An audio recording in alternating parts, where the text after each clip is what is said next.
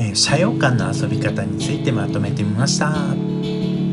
まず AR カメラをインストールします。で AR カメラの撮影ポイントで、えー、撮影をしますとスマホの方に太宰の画像がこうやって出てきます。で、えー、これで一緒に撮影することができるようになるんですね。で、えこれを使うと例えばこんな遊び方ができます。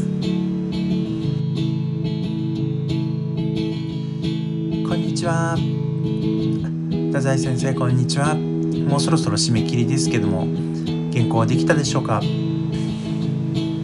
まあこんな遊びができるんですけどももう一度まとめです。AR カメラで撮影ポイントで撮影すると太宰の画像が出てきます。でその画像と、えー、自分を一緒に撮ります。でうまく角度を合わせたりとかするんですけど、まあ、できなかったら誰かに撮ってもらいましょう。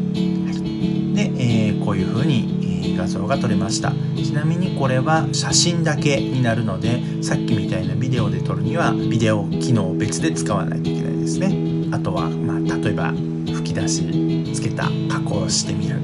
そんな風にして遊べると思います。是非遊んでみてください。